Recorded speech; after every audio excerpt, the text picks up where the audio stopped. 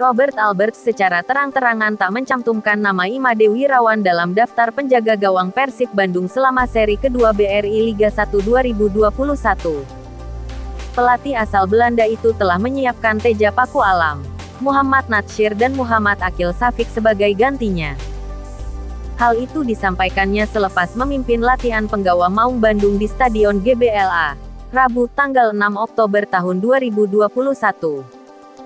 Kami hanya membawa tiga kiper untuk seri kedua, kata Robert Alberts dikutip dari laman Persib.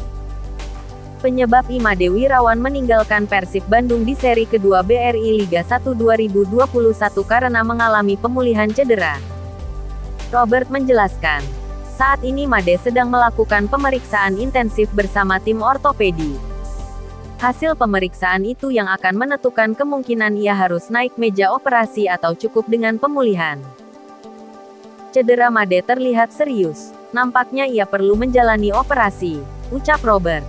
Tapi kita tunggu hasil akhir dari pemeriksaan yang dilakukan dokter ortopedi hari ini, terang pelatih berusia 66 tahun tersebut.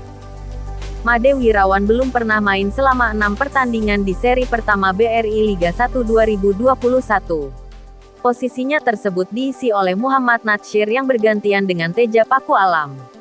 Natsir sejauh ini lebih kerap tampil sebanyak empat kali dan sisanya diambil alih Teja.